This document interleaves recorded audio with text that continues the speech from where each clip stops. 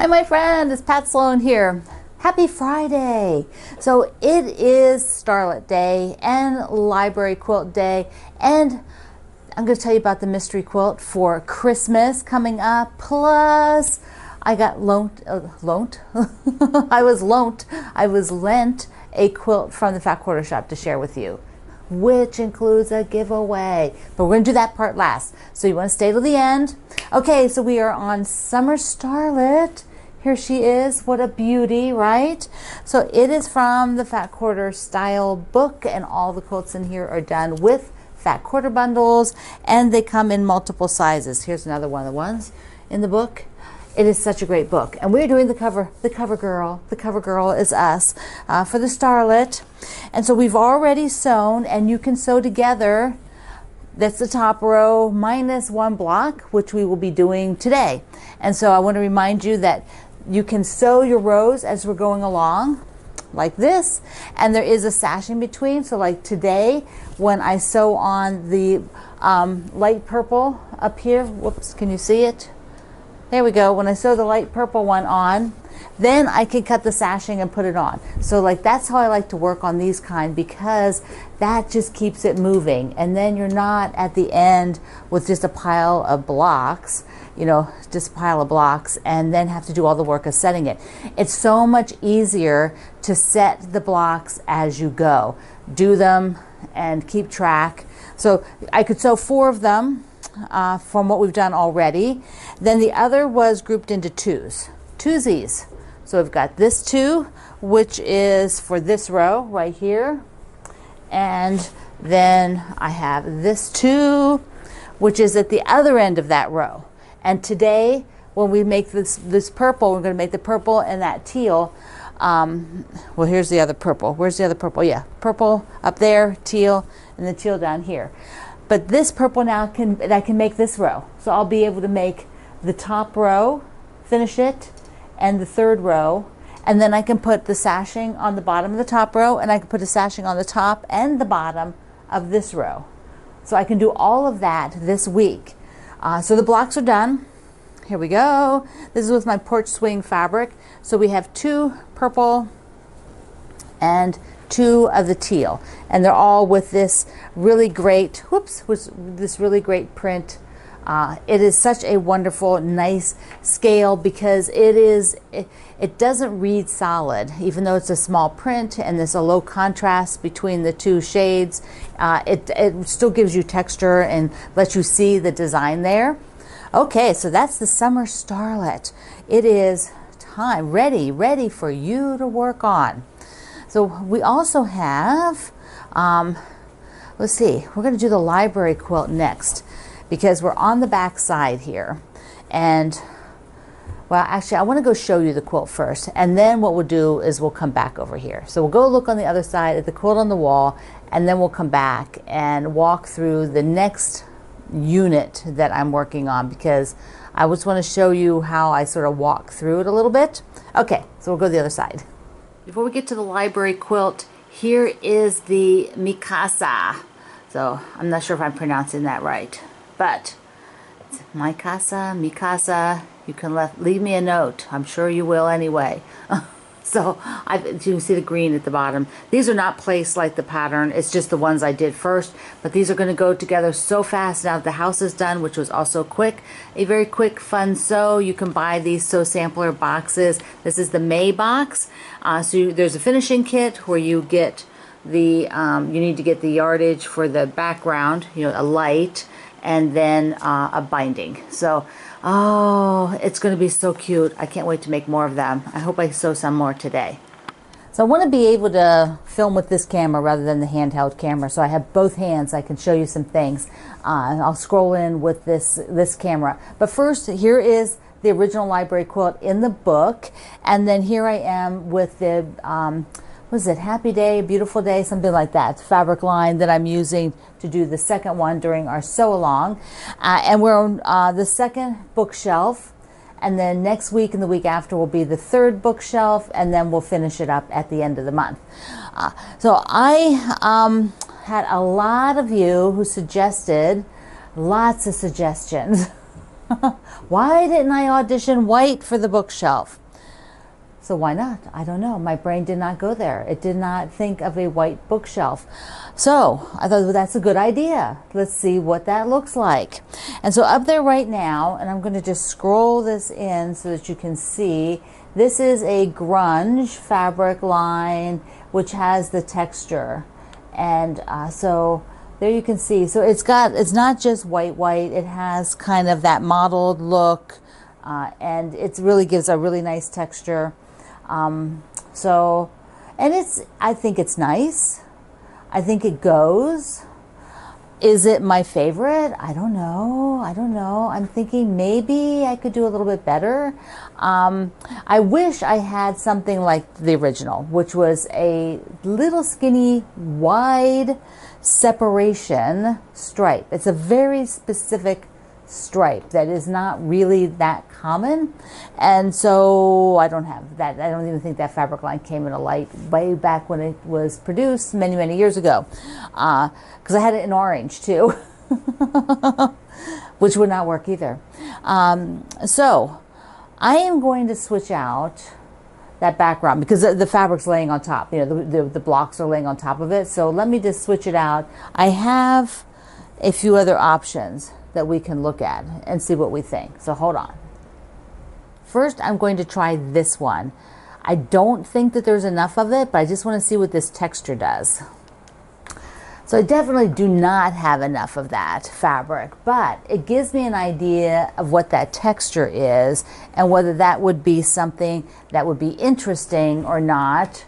So there you can see it uh, fairly close. Uh, and I think once again, it's okay. It, I like the first option better. The problem here is one, it's a pinky, it's like a pinky gray undertone, and so it's really not the right color. It's not the right color. And and I don't have enough of it anyway. It might be a basic. I think it's a Robert Kaufman, but I'm not in love with it. I would go with the other one before I went with that one. So next, this is also probably not the right color. It's kind of a taupey brown, but I'm going to try it anyways. so I do lean towards a bookshelf being darker, but I still like the white better than this, um, mostly because that pattern is too much. It's too bold. Uh, let me just scroll you in so you can see. It just has too much pattern. Uh, was stepping away from it like on on camera on camera, it looks better than it does in person. And I will be seeing it in person. So uh, that's a no go. The other one I have to try is polka dot. And I am thrilled that I have plenty of this. It is a much older fabric line, but I bought lots of it when I bought it. And so let's see what this looks like. This would definitely need to be fussy cut so that those polka dots are straight. Okay, here's the polka dot. Now, one of the things is it is bold. it is bold, and uh, I love that. I love that it's bold because I like to have fun with the things that I make. I don't like to make them so predictable all the time. So there's the bold. Uh, does it look like a bookshelf? Does it? That's the only problem.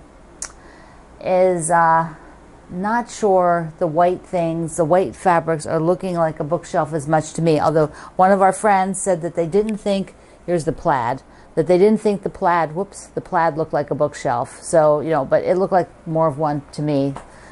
anyway, okay, so there's the polka dot. So I don't know. I was hoping to put it up there and be wowed. That was my, that was my hope. My hope was that I put it up there and go like, oh, that's it, that's it. But uh, that's not happening. That's not happening. Uh, the problem is, is it's kind of distracting from the books. So I'm back to either this or the plaid, which um, I did like a lot. So I'm going to put the plaid up there again. So we'll take a look. So there's the plaid again. Uh, last time I just had the strip that I cut and put up there. Of course, I have the darker plaid. Uh, there were some of you that really liked black, but black for me is much too heavy with this um, light border on it. It just, even like I'm, you know, like a couple black spots, you know, for books and little edges is about all I think I want to handle for that. So, okay. I'm going to put the white grunge back up there. Let's take a look at that again. So there's the plaid again. Uh, last time I just had the strip that I cut and put up there. Of course, I have the darker plaid.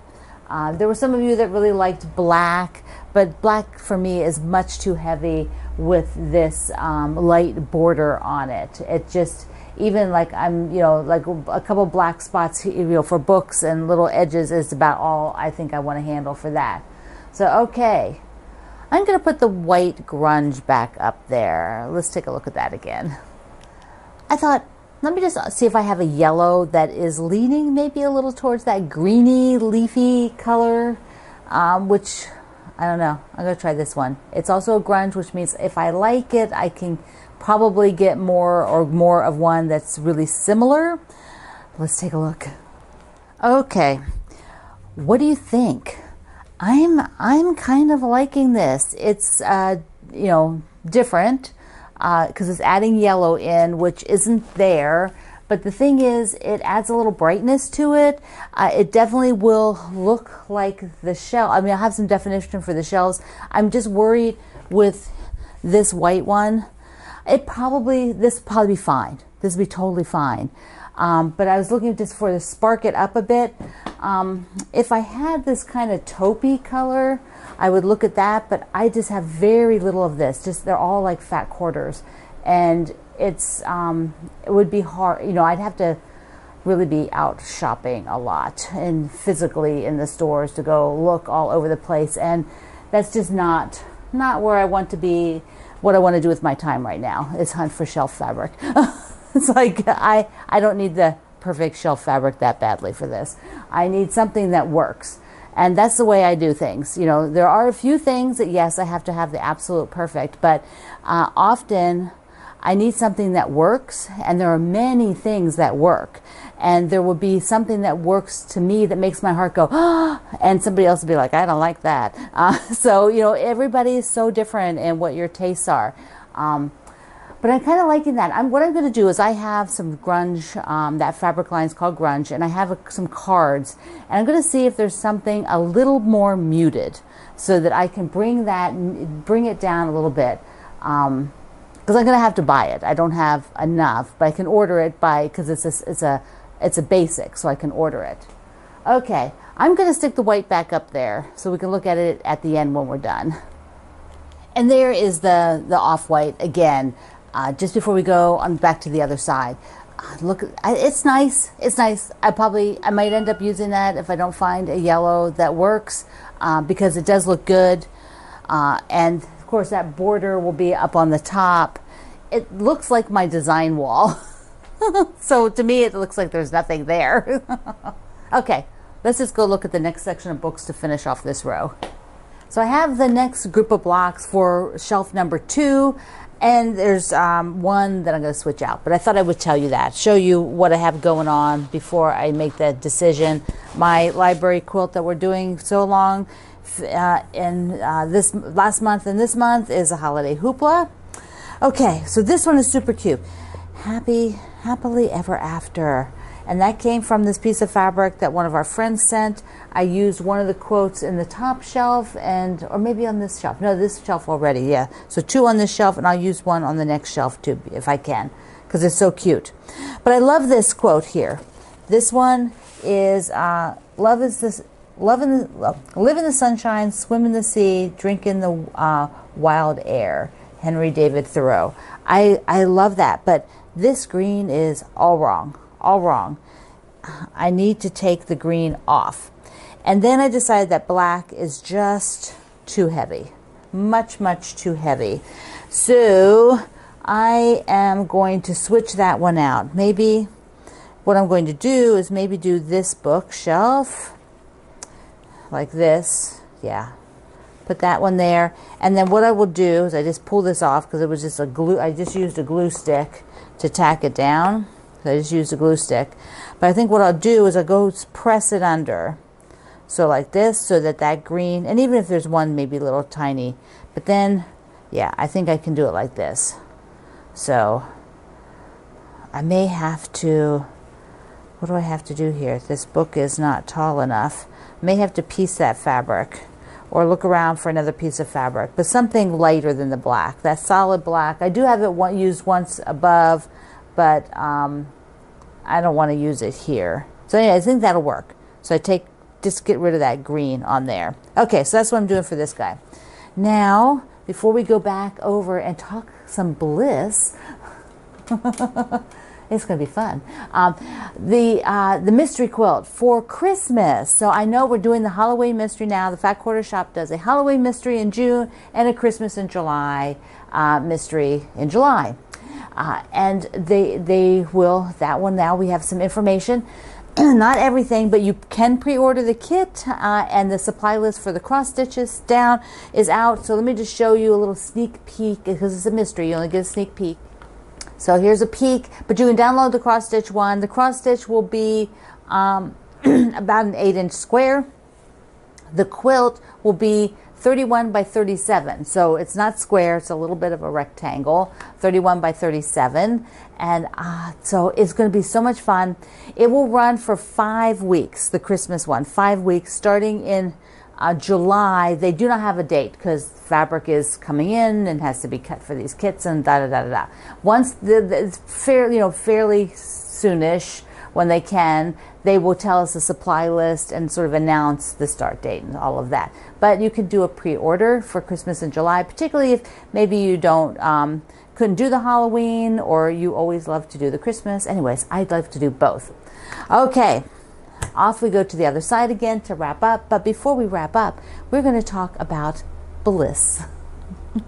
Here we are, a little bliss in the studio. Isn't that gorgeous? Oh my goodness, I love it so much. Uh, this is a project from the Fat Quarter Shop. They sent me the quilt so that I could look at it and I could share it with you. Uh, bliss is a project that they have out there. It is a set of patterns that came in the 2022 Sew Sampler box. So some of you who got the subscription service in 2022 will recognize it. So they have kits for it and they want to showcase and you know let you know about that. And i thought oh my goodness i just needed to show you because i'm going to take a camera now and we'll go up close and look at some of the blocks. Here we go to look at the blocks. They are so fun. I love this kind of rolling stone block. I think and then this one has like a plus sign in the middle. That is so pretty. And it's done with fig tree fabric. It's got this great pinky red but I just wanted to show you the blocks up close. This is one of my favorites on here I love this kind of a kind of a bow tie effect that's all the way around and then a star like a double friendship star. Beautiful like a lady of the lake. Ah so nice. Like this framed effect. There are 12 blocks in this and they came out in the Sew Sampler but the interesting and fun part now is with the kit, we have a code called Bliss22. And when you order the kit, you get the paper copy, and I'm going to show it to you, of the patterns uh, in the kit. It also has thangles. Look at this one. I like that one with the pinwheels. So look, look at this. This is kind of like a version of like the Harrisonburg block. And then here we go. So there's 12 blocks, and then there's the setting. And let me pull back. Hold on. The setting is this wonderful, wonderful big plus sign and then these four blocks. It is such a unique setting and just absolutely spectacular. Um, so uh, I love it, love it, love it. So let me just show you the, the kit and the pattern.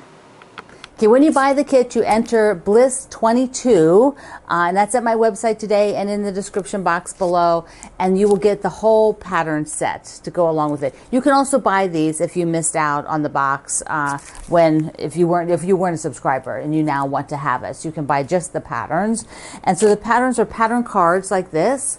So it has the directions like so, and then the layout is the plus, the big plus sign with these four blocks and that wonderful, wonderful border. So that's the whole layout. And it's a little booklet. So you got a little booklet on, on how to do that. Now the kit looks like this. Ta-da! And guess what? Didn't I tell you to wait till the end? The Fat Quarter Shop is giving away three, three, kits to my viewers. Ah, to my community. So three of you can win a kit like this. So you need to enter at my website. Uh, and you that's where you enter we'll leave it open i'll leave it open for a week so you can enter uh, and so next friday evening i will pick a winner and three people will win a kit and that'll include that'll include the pattern when you do when you win you get you get the whole thing uh, okay so I wanted to share that with you. The Fat Quarter Shop has done an amazing job, and it is just such such a cool design. Okay, you are going to make. Where's my stuff? You're going to make your summer starlets, your starlet blocks. Okay, you got four of these. You're going to be setting your rows, and then talk to me about my library quilt. Talk to me. So here it is over here, behind, hidden behind there. But tell me what you think about the different border, um, different um, bookshelf fabrics. All right, I love you. Mwah. Thank you for being here in the Sloan Zone. I will see you online.